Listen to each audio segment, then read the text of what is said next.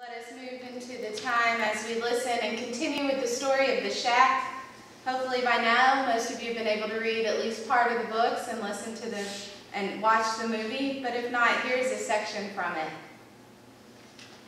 Mac walked to the edge of the dock and looked down.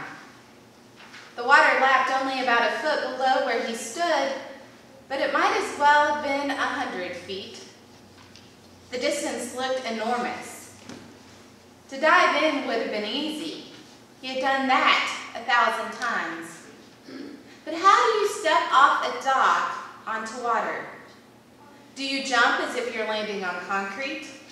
Or do you step over the edge like you are getting out of a boat? He looked back at Jesus, who was chuckling. Peter had the same problem, how to get out of the boat. It's just like stepping off a one-foot high stair, nothing to it, said Jesus.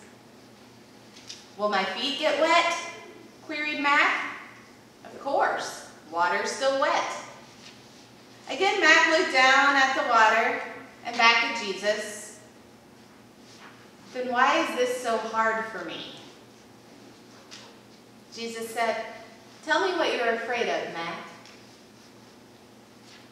Well, let me see. What am I afraid of? began Mac. Well, I'm afraid of looking like an idiot. I'm afraid that you're making fun of me and that I will sink like a rock.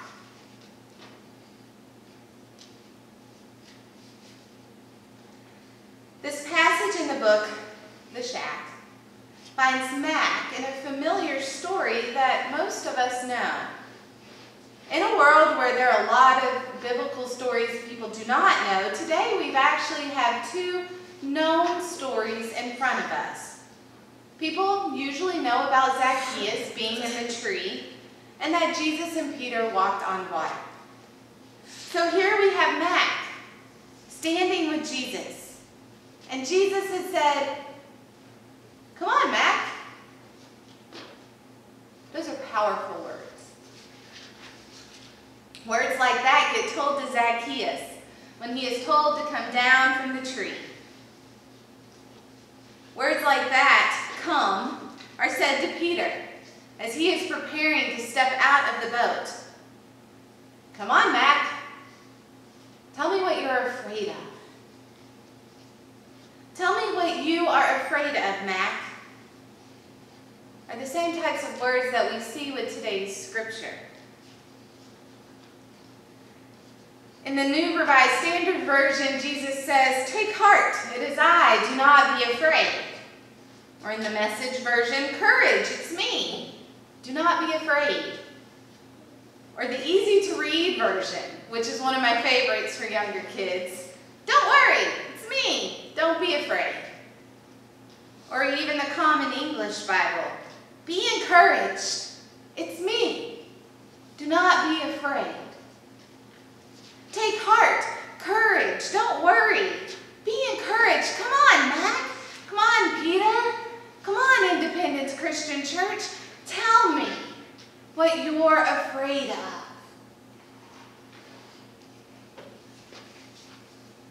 Why?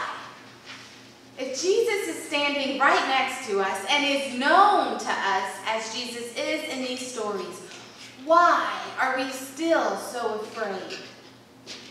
Because as we continue through a season of Lent, we have to be truthful with ourselves. And Jesus is right next to us, and thus we must find ourselves to be honest. We are afraid. We're afraid of drowning.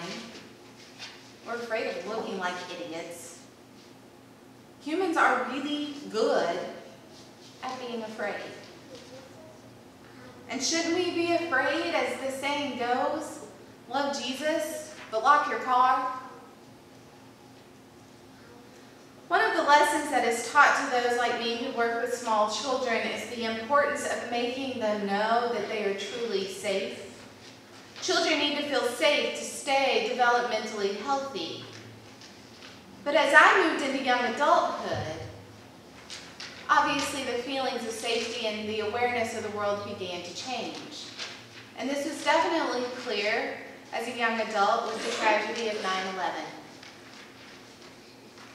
The day after 9-11, one of my seminary professors started to ask us some really difficult questions. And in that moment, we all began to recognize that safety and the feeling of safety is often an illusion.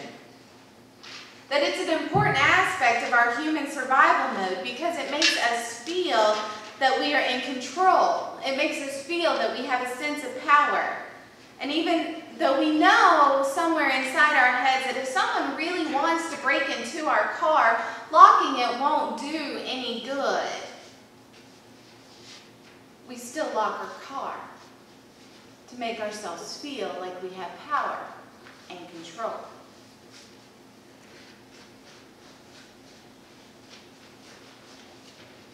Because the illusions of power and safety are complex. They are the reasons that insurance industries are always booming. We must be honest, we don't always trust one another, and we, including me, see those who do not lock their cars or make smart choices as irresponsible. And even though we know that bad things happen to good people, we still work really hard to be good people and to put our insurance mode into effect. Because also, if we are honest, we sometimes do not trust God.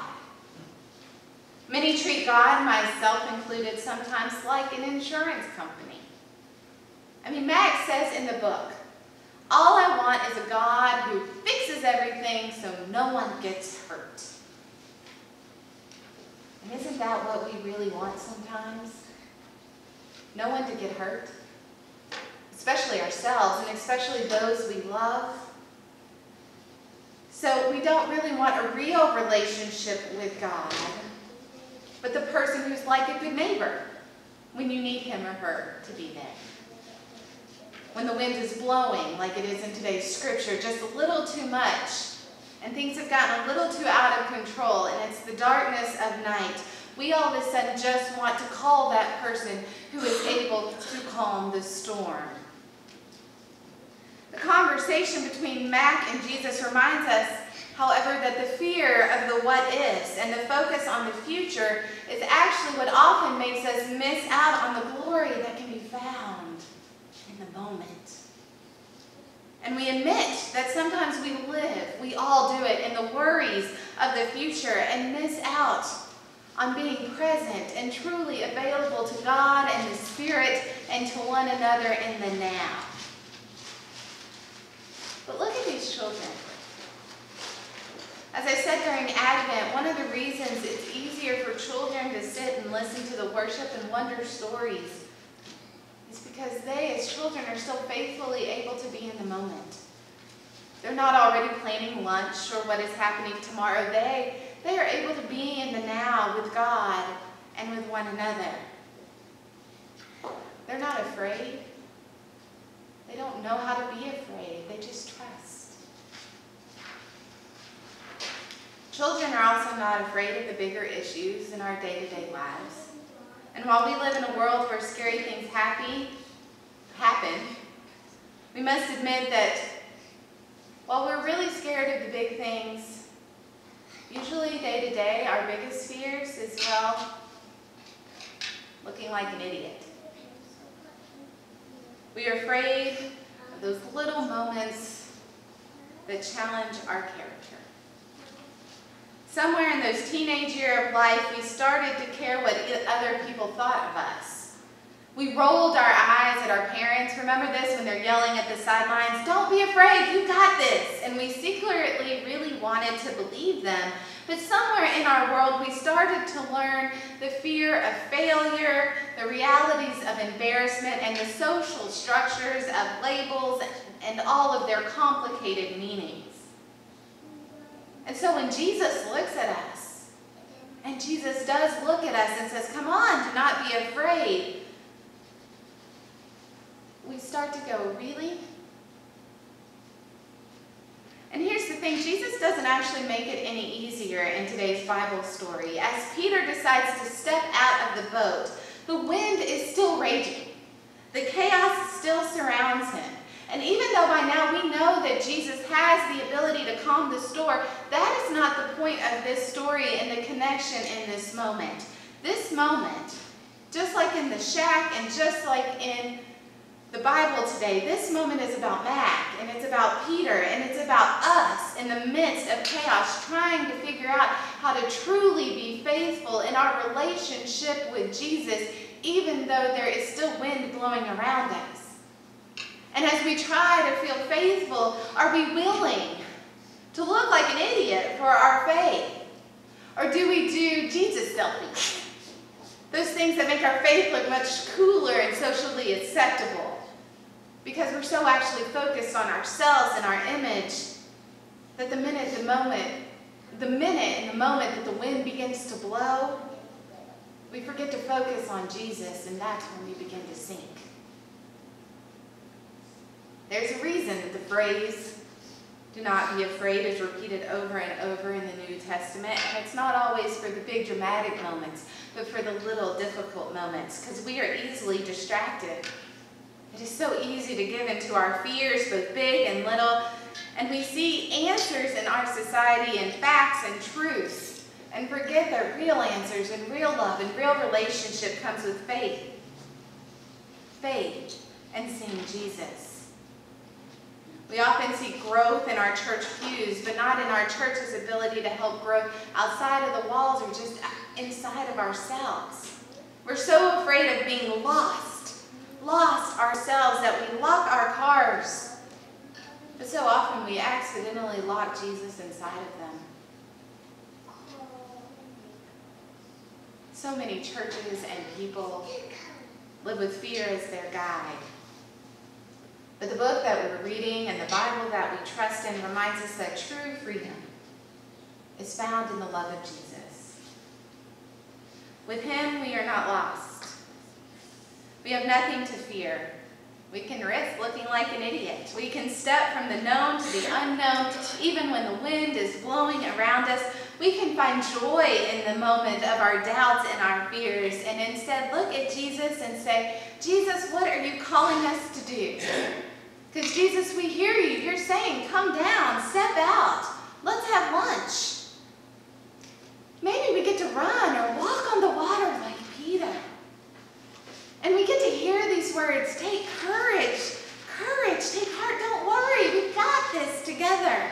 Because we are focused on Jesus and able to live in the now, to step out in love and to not be afraid.